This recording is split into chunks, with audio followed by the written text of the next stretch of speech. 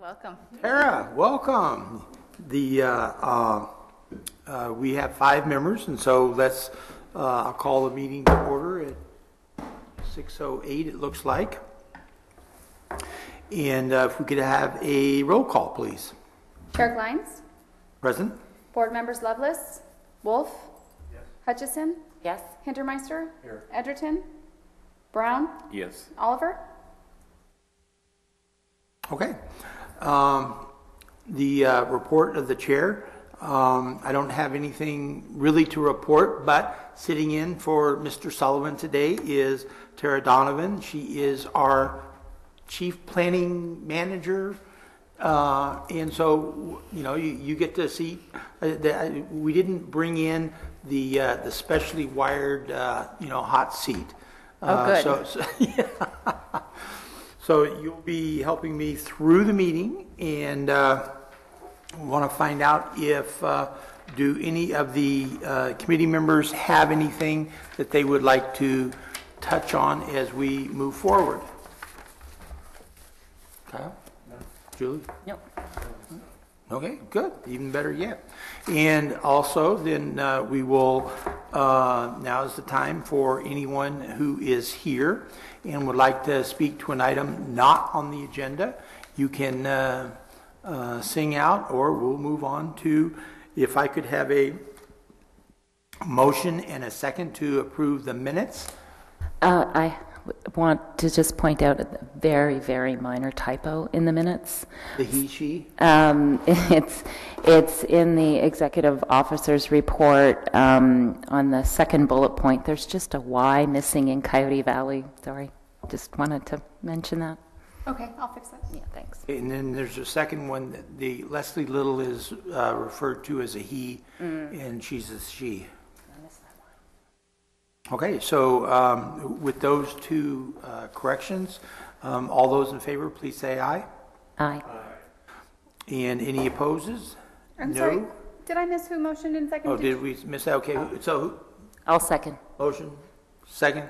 Do you want me to make the Motion, motion? You? Yes, please. Okay, um, Okay, good, all right. With Rushing the, with ahead. the, with the minor corrections, uh, I move to um, accept the, the minutes, adopt the minutes. So all those in favor, please say aye. Aye. Aye. Good. Okay, so the motion passes unanimously. Um, I would uh, just uh, say that we might want to open the public uh, comment period later. We Uh, can do Doug that. Muir- Doug Muirhead, who we all know, is in a competing meeting. Okay. And uh, he's hoping to finish there and then come over here a little bit later. I don't know if he has anything Would- anything to Would say. be but- glad to, and in the interest of hearing from folk, uh, more than happy. So then, um, Tara, you, you want to bring us up to date on the um, committee member selection process? Yes. So as you know, we have an- a vacant seat on the Public Advisory Committee, and we started soliciting folks back in May, and both through a li- a listserv, and then we also requested that our implementation governing boards reach out to their different, um, their different um, cons- consist- constituents, and then you guys as well, reaching out to the folks that you know um, for the position. Um, We received a total of seven um, applicants. Um, Three were considered qualified. we moved three to interviews. One was a no-show, and two were interviewed. And Walt, um, Ed, and Jill Ross um, all interviewed the th- the two that came in, and we selected Daniela, or sorry, Danielle, Danielle Davenport. this happens when I re- um, rely on my memory. Danielle Davenport. Um, she is a career professional in the technology indus- industry. Looking at her resume, I was not part of the interviews, but looking at her resume, she's very accomplished. Um, she served as, as an executive um, on several um, national international firms. She has started her own um, funding group um, for startups in the Bay Area, and then now is a, serves as, as a strategic advisor to a, a startup, essentially a startup. So she, you know, has ha, came from kind of our core Silicon Valley company, um, Hewlett Packard, and has worked with a variety of different firms over the years. And I think she is a good representative of the kind of Bay Area um, business community here. So we, we've recommended her um, for appointment to um, the PAC, and that will go to the board in September, and her first meeting will be in November. Hey, Uh, she's- Well, do you have anything to add, since you Well, were... she's a San Martin resident and, and a bit of a family. She has daughters that are 14 and 12. Um, and she will also be on the ballot in um November for uh, District 6 on the Gavilan College Trustee Board. And uh, um, she has um, more energy than uh, my uh, five and three-year-old grandsons. I mean, it's it's amazing. Uh, she's she's like the ever-ready uh, bunny. Um, and it was interesting that uh, of the two, uh, that both candidates were you know, absolutely outstanding. Um, the other candidate, um, he uh, found out about us uh, through a note that, that Leslie Little put on Nextdoor Crestwood, and uh, uh, and that is how he found out about it. And so, and and when I gave a report to the uh, uh, the implement, implementation board, you know, I noted that because that's something that, um, as we move forward, I really think that anytime we can take advantage of social media and, and just, you know, even posting, um, on Nextdoor, um, you know, meetings coming up with the agenda, that, that kind of stuff, because, um, I mean, it's, it's the Morgan Hill total network is about 13,000. Uh, So, I mean, that's great. Okay, any questions? Okay, and then she'll- she'll join, join us for our November 3rd meeting. And then uh, uh, presentation by the Nature uh, Conser, item number three, presentation of the Nature Conservancy on the Pajaro Compass, a network for volunteer conservation. So we're going to table this one to the next meeting. Um, Okay. They were not able to, or she was not able to make it to the meeting today. You know, I, and I, and I read the report, and the, and the one question I had is it doesn't seem, or one of the questions was, they don't talk about residential or commercial slash industrial growth and the demand that that is, uh, uh, causing, you know, the, the, the, the demand for water on the, on the watershed. And, and uh, truly, the Pajaro watershed is in a critical deficit. And, uh, then, you know, we, the greater community, are going to have to do something about that as we move forward. So, the item number four, burrowing owl. Could I just ask a Yes. question about the previous item? The, the thing, I- the thing I, whenever this comes forward again, um, I think what I would like to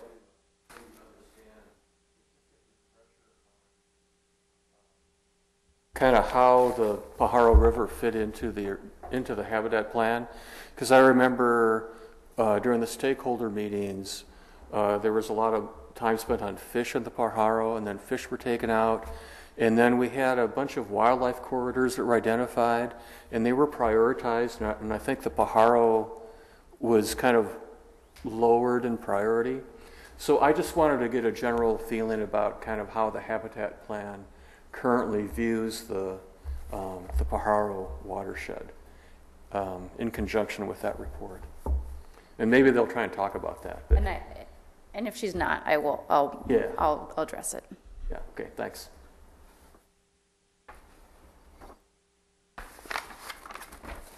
And always near and dear to our heart is the burrowing owl. And I almost feel bad presenting about the burrowing owl because we always talk about the burrowing owl at the PAC meetings.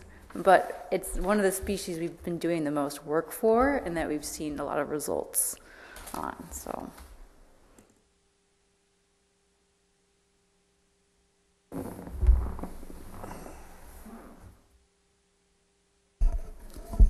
okay. So today I'm going to talk about um, our most recent management agreement that we've entered into with the city of San Jose at the San Jose Santa Clara Regional Wastewater Treatment Facility.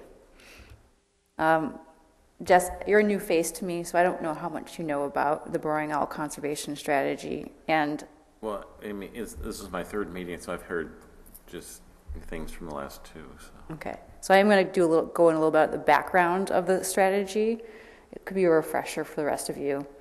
Our public doesn't seem to be, they're- don't know about it. Um, Then I'll talk about the regional wastewater treatment facility itself, what we're hoping to do there, and then how this fits into our permit requirements and the status um, of them. Okay. Besides being the cutest bird, um, the burrowing owl, um, is a small, is a, is a covered, one of the 18 covered species under the habitat plan. Um, it's a state species of special concern, and it's protected under the Federal Migratory Bird Treaty Act. They're small owls, they're less than a foot tall, and they're found in dry, open areas with low vegetation, and they live underground in burrows of other of mammals. So you commonly find them alongside ground squirrels. They eat mostly insects and small mammals. Occasionally, they'll munch on a frog or a, a snake. Um, their mating occurs in the springtime, and then they, uh, and then their young owls fledge in the summer. Uh, there's generally six to a dozen eggs. Um, they may nest alone, or they may nest in groups. So, at the beginning of the 20th century, burrowing owls were common throughout the Bay Area. Um, in the 1990s, we were already seeing a decline in their numbers. Um, there, there were in Santa Clara County, there were 120 to 140 breeding pairs across 12 locations. Last year, in Santa Clara County, we had 21 successful breeding pairs across four locations. So you can see there's quite a, de- a decline um, in the species in this area. So the declining trend was noted um, during um, the habitat plan development. And while this species isn't federally or state listed, we knew that it was locally important. Um, that the po- population here, like throughout its range, the breeding population was decreasing. Although we see wintering birds throughout the area, we don't have very many locations where they nest. And so the, um, the permit area for our plan was expanded to include some bayland regions outside the county and outside the, the, um, the permit area where we cover activities for development. And that was to take into account where the birds are nesting in the area. So, let's see. The most, oh no, go back. No, no, I can't use my tools. Oh, here we go. So,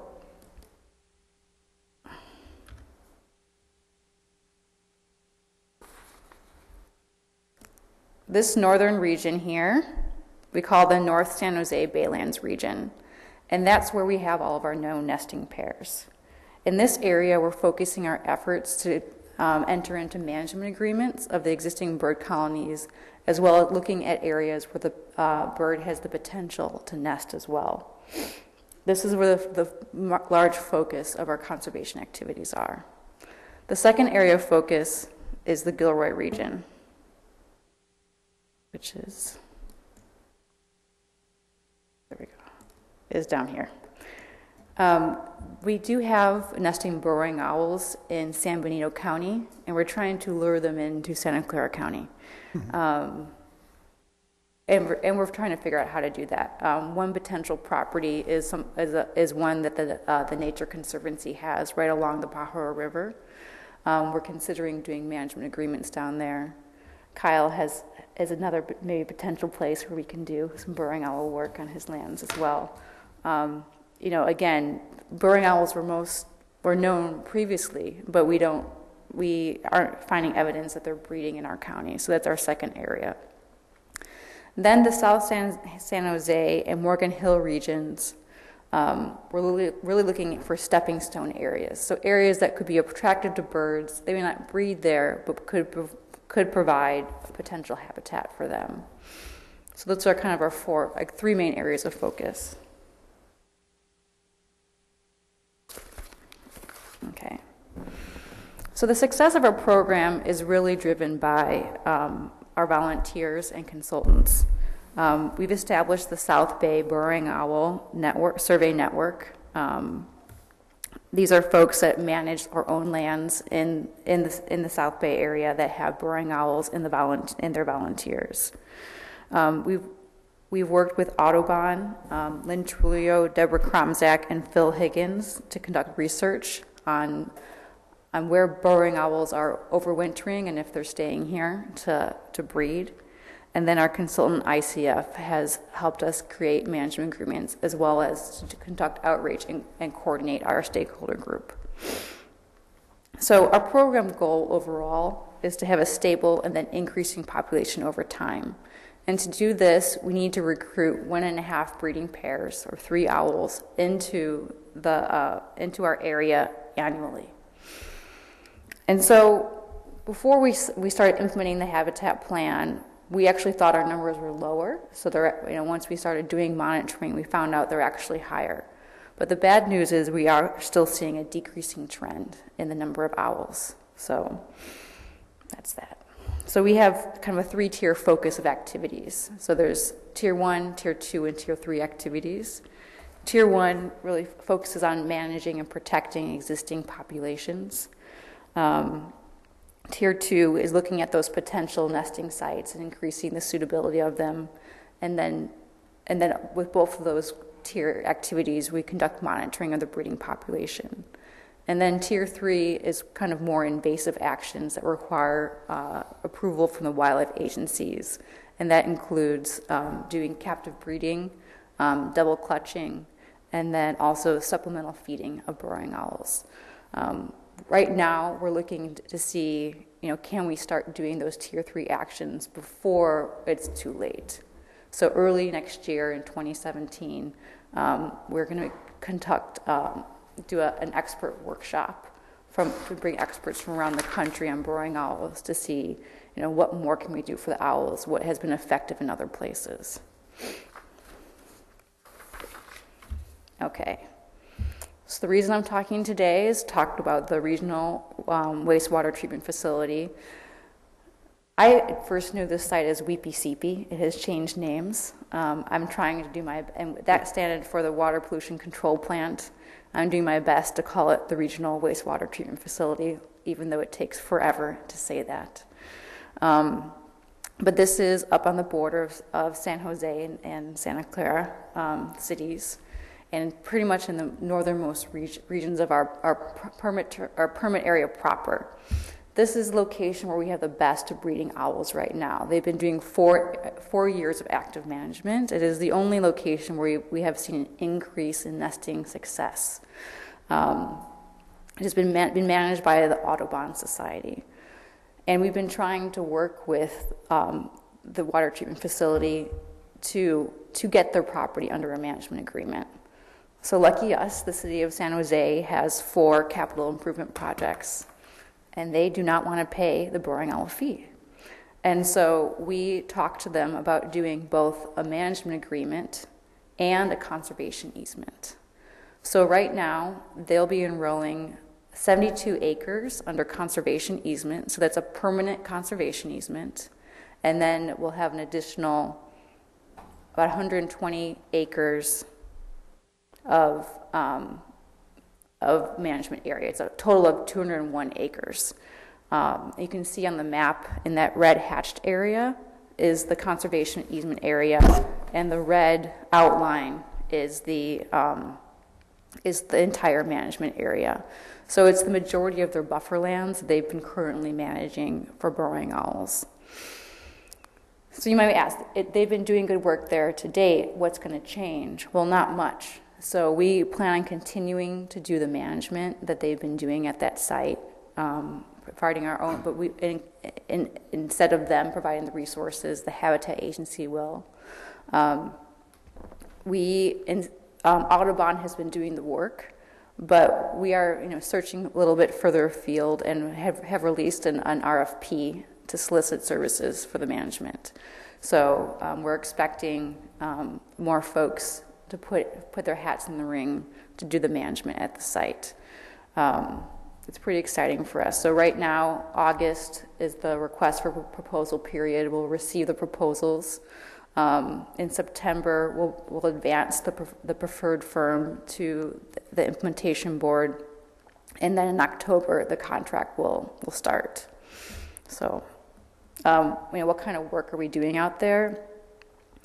Uh, right now, there's the mowing will continue to be, be done by the city of San Jose, but will be directed by whoever is managing the site. Um, they'll continue to do um, both artificial burrows as well as these low perches in the area. Um, we'll be assessing whether we need new ones or just maintain the ones that are existing. Um, doing kind of vegetation clearing around the burrows to keep the vegetation low, um, weed management. Um, also monitoring for predators, make sure that they're, that um, we don't have a predator problem out there, and also monitoring for um, trespassing. So that's some of the work that'll be done out there. Also, we'll, we will continue to continue to, to monitor the site um, to see how the owls um, are breeding year to year. Oh, I was supposed to show these pictures when I talked about that, so you can see. Um, this is some. These are pictures actually from the Don Edwards um, uh, Wildlife Refuge, where we currently are managing, and you can see here um, folks doing um, weed management, installing rock piles to attract um, prey, um, creating these vegetative berms for additional prey areas cameras capturing foxes, and then folks doing the monitoring. Okay, so now I just want to turn a little to a little bit like what does what do these management agreements and conservation easements mean for our conservation strategy? So I mentioned before that we have we have four breeding areas in Santa Clara County, but we actually have five within our permit area. So Don Edwards actually is in um, Alameda County, and that's one of our uh, breeding sites. Then we have the Regional Wastewater Treatment Facility, San Jose Airport, NASA, and the Shoreline in Mountain View. So those are our five breeding um, colonies that we have in, San, in the permit area. So Don Edwards, we currently have a management agreement with them. It's five years to manage the entire 719 acres of uh, breeding owl habitat. At the regional wastewater facility, it's a subset of that area, um, so only 201 acres. So, what does that mean for our, our program? Well, we target to have um, about four and a half thousand acres under management agreement, at, under a, manage, a permanent management agreement at the end of our permit term and we're about eight, at 18% right now if we consider those two management agreements. And then we need about six, sorry, I need to look at my notes for this one. 600 acres under conservation easement, um, and with the regional wastewater treatment facility, that's 72 acres, giving us about 10% of that. So we are slowly moving along with on our on our, per, our permit goals, which is good because we want to be able to protect those sites early in the permit term so that we can better manage for the birds and ensure that there's funding for management. That's it. Any questions? Go ahead. Dan? Oh, I'm sure Jan does. Yeah, I think, I think I got a bunch of questions. So, um, one, one question I was curious about was whether, so when you mentioned these, um, numbers that are, um, we're trying to achieve at the end of the, at the end of the term, and our current percentages, or this three owls per year goal, um, are there any triggers along the way that, along the 50 years, that if we don't meet some number along the way, that something bad happens? We're, Like- we're already considering that. So we started kind of with the owl from a bad place. There's not, there's not as many breeding sites in the county. The population isn't doing that well. So we are already considering tier three actions now to avoid the failure of, of, of, of the existing breeding sites in, in their permit area. So that's where we're at now. So you're asking if someday, what if there are no owls? That we'll, we'll cross that bridge when we get there. Yeah, um, I, I mean, the one, so one thing is the, is the actions that we take, but the other, the other issue is, um, is there any permit, connection with permits? Yes, so if And there's, when we would have, kick in? we would have to look at modifying our permit and getting a permit amendment if the species did, what, did disappear from the county. Mm-hmm. So that's why we're, I guess that's the driver, other than we want to do good things for the burrowing owl. But the, it's a, it is a permit driver that we are doing all this work now.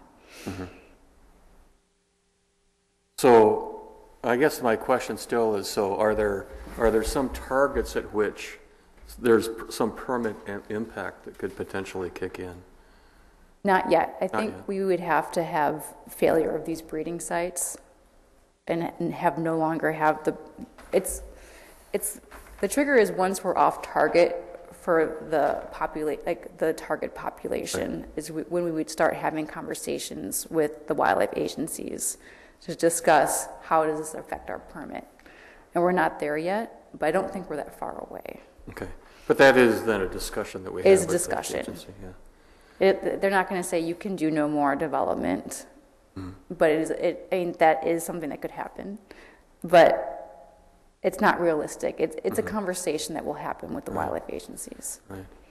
So regarding this particular site, um, so I noticed in the report that it said there were 20 acres of impact um, that I think were in other parts of San Jose, not, not here. They're not all right there, but most of them are. So the, how we got to 72 acres was kind of a two to one ratio plus a buffer. The buffer, okay. So is this, is, is the rest of that 200 acres, then is that kind of a, is that, is there the potential for that being placed under uh, easement at some point? Is that That's our like a goal. bank So for our- San Jose, or how does that? Our goal is to get as much of those buffer lands as possible under con- conservation easement or a permanent management agreement that we would fund. Yeah, Um, the city's just not ready right now to make that commitment. So the, and they're ready to do the 72 acres because there is a fi- there's a driver. Um, yes, we would like the rest of it. So that's something we're still continuing to talk to, talk about with San Jose. Okay. Um, And then related to that, we're also in discussions with the um, with the airport to do a management agreement or a small conservation easement on some of their lands for burrowing owls. And I guess my last question was, um, so, um, we've got, we've got, um, a lot of management activities here and at Warm Springs on Don Edwards.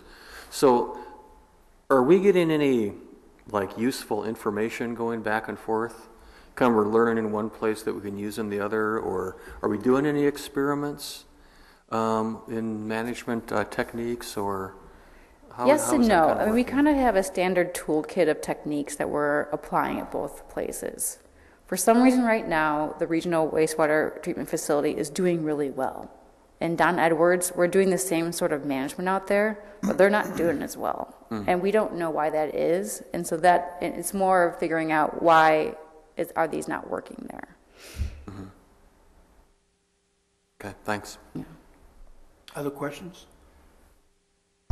Yeah, just, oh, you mentioned that there would be an expert workshop or meeting, and I was wondering, will we be informed of that? Is there an opportunity for any of the PAC to attend it, et cetera? Yes, Yay! I will invite you. Thank you. Yeah, we're thinking, just because of scheduling experts coming in, they need a lot of lead time, and while we've now identified who we want to invite, um, early next year is when we're going to target the meeting. Greg? Uh, So I've been out with Deborah and Phil on a number of trapping expeditions, and we've been successful sometimes and sometimes not. And it's um, a little bit frustrating to see the owls out there in, in the wintertime, and then they're not there during the breeding season. So you said you were trying to attract them up from Hollister, other than putting a sign out that says "Owls Welcome." What what's what specifically are, are you going to use to try to attract owls? Because they don't seem to want to breed in Coyote Ridge and along in that area, yet they do up in uh, uh, Altamont. I think those are some of the questions we're going to raise to our experts that come in. I mean, just part of it is making, making the area more attractive, so keeping the grass lower, making sure that, like a grazing regime that's in place, um, keep, maintains a low vegetation that the owls like, um, is one way. We can't actually like kidnap them from San Benito County and bring them over. I understand that. Um, but um, that is part of what we will discuss as part of our tier three actions is can we move owls around?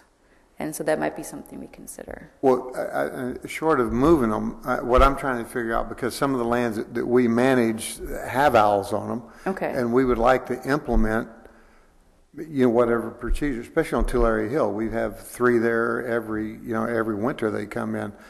Uh, So you're saying this, this conference or get-together, hopefully you come up with some, some processes or procedures that can attract, uh, can attract them there during the summertime? And that might not be possible. They, they may be like, I like to liken them to Midwesterners where we, we winter in Florida. But they may come here for the winter and just not, this is not where they go to breed in the summer. But that is one of the questions you'll be looking at in that, that- that Yes. conference? Okay. Yes. Okay. Cool. Is it too simplistic or even realistic if we could, you know, harvest surplus in another area, kidnap them and bring them back? That's something we consider, not kidnapping them. But, but, well, yeah, but, Um, But yes, so in one of the things we're looking at is captive breeding and release. So we've talked to the Saratoga Center to see if they would be somewhere we could work, we could work with them to do a captive breeding. And that would be captive breeding and then releasing them onto another, a s- preferred site. and I think when this topic came up a couple of meetings ago, uh, there was talk of somewhere in, I don't know if it was Riverside County or somewhere in Southern California, where th- they have a little bit more success than, than we're having here. So what do we learn from there that we can practice here? That's a good question. I can look into that. You want some insight? Because they came and checked our ranch, because we had them about eight or 10 years ago. And so when he came and he looked and he goes, What really changed? And I go, Well, I haven't changed the grazing or anything like that. But then I started thinking, my new neighbor is Co-Park and Fish and Game, and they don't graze anything. So when probably my grass was high, they went next door to that ranch that was there. So you have a hundred thousand acres on that hillside that probably used to house a lot of owls that moved around and stuff, and now they they don't. And the property that open space down or Nature Conservatory has borders open space that owns the uh, development rights. The owners sold that and it went from grazing to farming. And it had um, owls on it three years ago. So I doubt if there's owls there now in the summertime. Because I would pick up hay there and the owls are sitting there. They're, they don't move or anything. They just, they're really calm. So I don't think it would be that hard to just get them, to keep 'em moving. No, it's- I, I just, you know, the- it's, uh, there, you just wonder, I mean, I don't like reinventing the wheel. Well, that's kind of sounds like what they want to do. Just to say that we have burrowing owls. Yeah. We may have them, but they just haven't found them. I don't think we have a wheel. Have a There's some what? things still to be invented. A wheel? And that, and that could well be. Um, but, you know, the, uh, they're a part of our history. Yeah. I think part of the problem they've had when they've tried to kidnap them and like move them is, you know, then, then the problem is how do you get them to stay where you put them? Right, exactly. And that's- But Because if that's- they like that's- somewhere else better, that they're gonna go looking. Yeah, that's one, been one of the problems when they've tried to transplant owls is they know where they, they know what they like. Yeah, we haven't figured that out yet. But some of this grass, I mean, that's, you know, that'd be, that's a really interesting kind of thought that, you know, maybe just more management of, even land that's not necessarily breeding habitat, that's foraging habitat. Yeah. Might help. Actually, that was one of the questions I had. I mean, because when, uh, in the report, when there were these like, um, there were like eight items numbered, one, one through seven or one through eight or whatever it was. One of those actions, like number three or something, had to do with just um, um, managing foraging habitat as, op- as opposed to breeding habitat. And I think in the North Bay, kind of the, maybe those are the same things, like breeding habitat equals foraging habitat because there's just so little left. But but I don't know because I don't really know how far, um, like even the owls in the North Bay, how far away they forage from. Are they sticking in these same areas uh, that they breed in, or do they actually kind of go farther afield from? So we, we consider a half mile from a breeding site to be, from a nest site to be breeding, and that we assume that they forage in those areas as well when they're breeding. Yeah. But we also consider about seven and a half miles from those breeding sites to be potential foraging, potential new sites for them. So my guess is, we- I don't, I don't, I actually don't know specifically, but we are looking to manage these other potential sites for the owls, for them to either forage there or establish new nest sites. So we are looking to improve, to like do mowing and create artificial burrows and encour- encourage um, squirrel colonies to establish in these other sites where we think are suitable, but there's no owls there. So I think it is fair to say that they do forage a little bit more wide ranging than the nest sites, but it, they need that kind of near near foraging habitat during that breeding period. Does the Don Edwards property have wild turkeys on it? I don't know. Oh. Why do you ask? Oh, I was thinking of competition, because that's probably one of the reasons as well at our place, because the numbers of wild turkeys exploded. And would you say that wild turkeys are on the increase? Oh, yeah. Yeah, because I was gonna say, at, at the Gavilan Gilroy campus, we've got forty to sixty, uh, in more than one flock. And, and, uh, the- those things are just prolific. Before the drought, it was really bad, but it's kind of leveled off now. Other questions, observations? Okay, so that takes us to the end of the agenda. Does anyone have anything that they would like to have discussed at the November 4 meeting? Eric Lines, I've added item three to the future business um, Okay, for the next meeting. since oh, you, right, okay, good, yes, thank you. Anything else? And seeing no additions, uh, and if no one has any objections, we will uh, adjourn at 6:45, and Mr. Oliver should have been here today. Thank you. Okay. Sorry, it took me 35 minutes. Yeah. Could not believe it. Yeah. Yeah. Now you can ask me the real questions. Thank you for coming today. And just, I came up from Gilroy, and and it was like 25 minutes.